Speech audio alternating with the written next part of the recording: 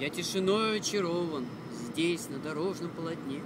Тебе я мысленно прикован В моей певучей тишине. Там ворон каркает высоко, И вдруг в глазури потонул С бледноватого далека Железный возникает гул. Вчера твое я слышал слово, С тобой расстался ли вчера? Но тишина мне шепчет снова, Не так нам встретиться пора. Вдали от суетных селений, Среди зеленой тишины, Обрись утраченные сны Несбыточных волнений. 18 апреля 1900 года.